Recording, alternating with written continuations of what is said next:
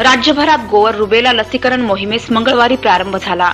त्यानिमित्ताने अकोला जिल्ह्यातील बाळापूर येथील नगर परिषद शाळा क्रमांक अकरा गुजरातीपुरा येथे वय शून्य ते पंधरा वर्ष वयोगटातील मुलांना गोवर रुबेलाची लस देण्यात आली.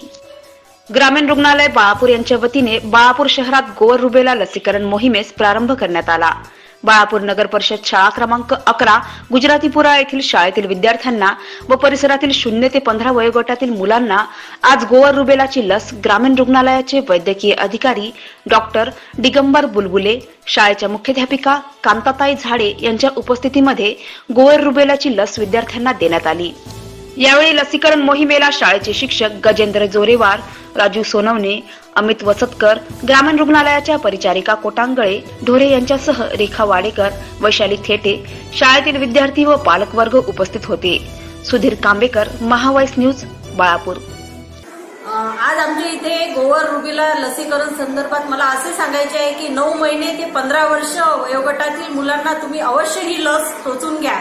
कारण की गोवरावर आणि गोवर नियंत्रण रुबेलावर नियंत्रण करण्यासाठी ही लस अतिशय परिणामकारक आहे. त्यासाठी आपल्या मुलाचे आरोग्य धोक्यात येऊ शकते. म्हणून ही लसीकरण अवश्य टोचून घ्यावी अशी मी आरोग्य विभागाच्या वतीने तुम्हाला नम्र विनंती करते. लसीकरण चालू आहे. त्याला टीकाकरण असं म्हणतो आपण. जसं पोलिओचं आपण लसीकरण चालू केलं होतं आपण नाईन्टी फाईव्हला आज आपल्याला दोन हजार बारा तेराला इरॅडिकेशन म्हणून वर्ल्ड हेल्थचं सर्टिफिकेट भेटलं की आपल्या याच्यात पोलिओ मुक्त झालो म्हणून भारत देश.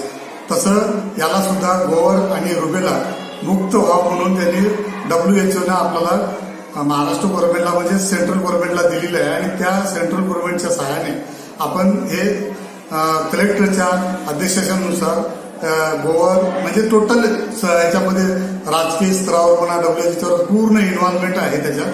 आणि याच्यातून कोणालाही तोटा नाही. आहे इरॅडिट केल्यामुळं जे काही येणारा बाळ जसं रुबेलाच्या याच्यामुळे येणारा कंजनाटल आंधळा कधी पांगळा होतो जन्मत असतो हे होते.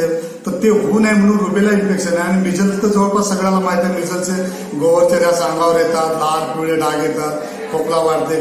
कधी कधी तर एवढा निमोनिया कप होतो की एखाद्या लहान बालकाचा त्याचा डेथ होऊ शकतो. अशी कंडिशन याच्यामध्ये येऊ शकतं. ते त्याच्यापासून मुक्त करण्यासाठी ही योजना तयार केलेली आहे. आणि